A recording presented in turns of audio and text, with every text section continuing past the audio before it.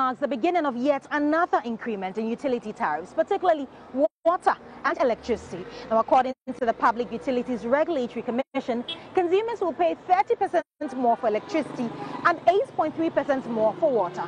In simple terms, electricity you buy for 100 cedis would not last as long as it would have in previous months. And same for water. But how is the public taking this? I don't think the leaders really think about us because we are already suffering.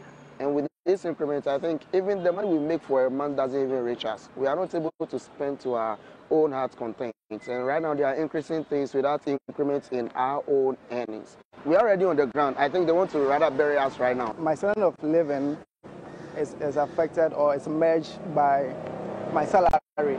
And then my utilities need to, what, to also uh, go down a bit, um, such as the, the ECG increment and then the water, I would have to reduce the usage by making sure that I have enough to save.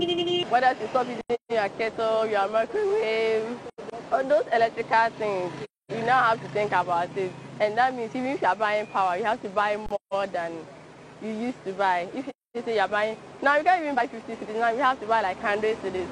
External Communications Officer of the ECG, Laila Bubakar, explains the effects of the increment.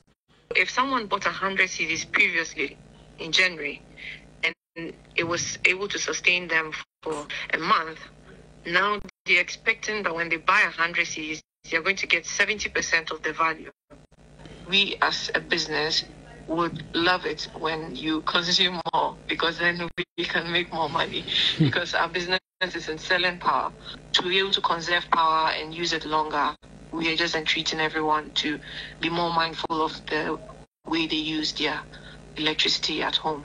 For now, consumers will have to heed the advice of the electricity company to be more efficient in their use of electricity. Judith Awachutando, TV3 News.